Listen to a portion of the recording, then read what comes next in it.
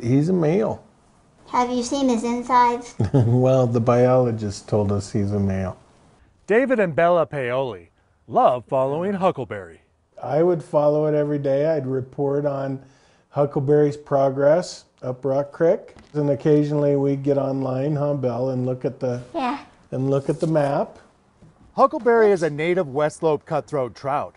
The Paolis adopted through Trout Unlimited's Race Up Rock Creek. The Race Up Rock Creek is really a spin off the joint research to track cutthroat trout. So you can actually follow all the movement of these tagged cutthroat live as FWP is actually tracking them.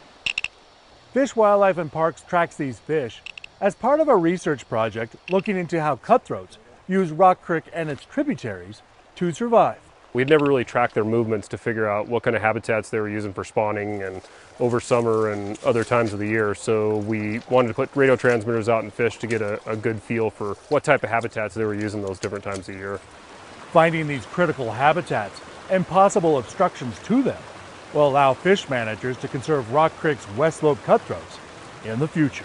If we can identify obstacles that are either causing mortality or increasing the amount of time it takes to make that migration. And if we can improve through habitat restoration these obstacles, then we can have real positive benefits on those fisheries.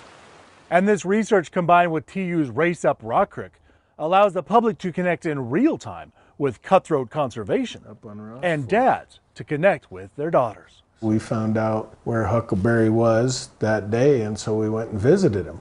Yeah, just me and my dad. I'm Winston Greely, out among Montana's fish, wildlife, and parks.